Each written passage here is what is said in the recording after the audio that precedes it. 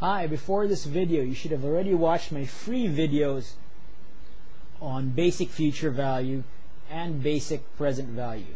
You should have also already watched my other videos on future value for less than one year period, future value compounding, and present value for less than one year period.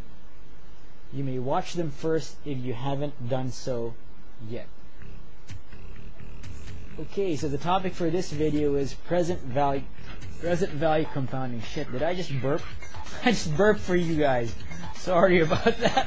Anyway, so the the, the topic for this video is burping value present value compounding. Remember you can always go back to mbabullshit.com. Alright, so let's start with a question. So, let's say that little Billy John, let's just say his name is Billy John, because I'm sure his name might change again sometime in the middle of the video. let's say that little Bill was given money by grandma two years ago. Bill had put it in Scroogey Bank at 5% interest for two years, and now it is worth $100. How much money did Bill have two years ago? How much money did grandma give him two years ago? So now it is worth $100. How much was it two years ago?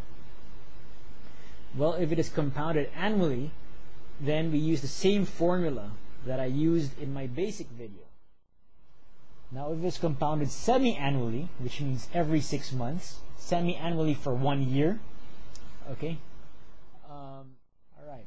So what if it was compounded weekly for 33 weeks? How about if it's compounded continuously for seven months? Remember to share us if you like us. Um, follow me on Twitter at MBA Bullshit. Join my fan page on Facebook for the latest updates. Uh, Facebook.com slash MBA Bullshit. Or simply forward my YouTube links on your email or social media. Have a great day and goodbye.